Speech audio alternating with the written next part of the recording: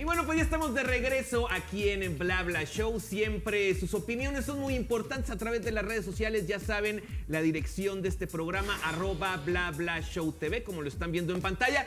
Pero, Mona, ayer eh, que toqué el tema de la serie de Tijuana, precisamente Sí, con- hablamos. con Demián Alcázar. Ajá, Sí. con Demián Alcázar. Hablamos de lo difícil y arriesgado que es para un periodista cubrir la fuente política. Justamente una de las periodistas en este rubro más reconocidas de los últimos tiempos es la italiana eh, Oriana Fa- Falassi, quien eh, reportó en 1968 Sí. todo lo que sucedió en la En la matanza, de Tla- matanza. de, Tlatelolco, que fue un momento eh, pues muy duro y su vida será recordada en una serie y la actriz Ivana de María nos cuenta de este proyecto. ¿Te parece, Mona, si Vamos, checamos? vamos a ver, vamos a ver.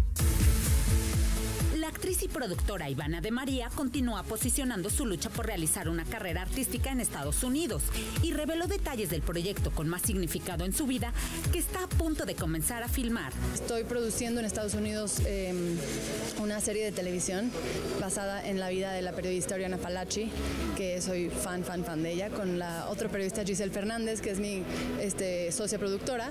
Entonces estamos produciendo eso allá. Aquí en México estoy con Ara desarrollando una película, una comedia romántica que escribimos juntos y que vamos a actuar.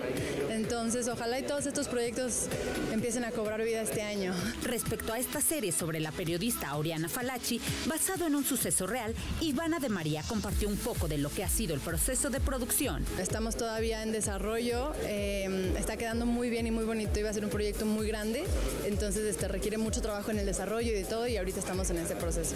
Ojalá y muy pronto ya tenga más información sobre eso, creo que va a depender, pues es una serie complicada que se graba en Europa, se graba en Estados Unidos, se graba en, y es de época, entonces eh, va a requerir mucha producción y no te sabría decir ojalá y pudiera eh, la fecha en la que va a estar lista. Eh, y estamos hablando todavía con, eh, no, no puedo necesariamente decir en dónde va a salir, pero va a salir en un lugar muy padre. Para Bla Bla Show, Nash Cisneros. Fíjate, Clau, que esta mujer es admirable, Ivana, eh, que de hecho es hermana de, de, pues, de los Robsar. De los Robsar, De los Robsar que tienen las producciones Lemon Films.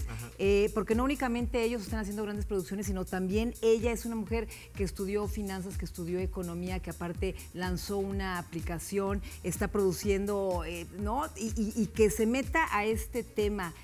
con- también con el lado periodístico, con Oriana, y que ponga, Claro. pues de alguna manera, su vida y esta biografía tan, tan fuerte de la matanza de Tlatelolco, eh, pu- pues en imágenes, la verdad es bien, bien interesante. Y qué bueno que, que se prepare, porque obviamente podrías decir, bueno, los Robstar tienen tanto dinero que a lo mejor no necesitarían prepararse y tenían la entrada para hacer cualquier cosa, y qué bueno que se preparen tanto. Por ¿no? supuesto.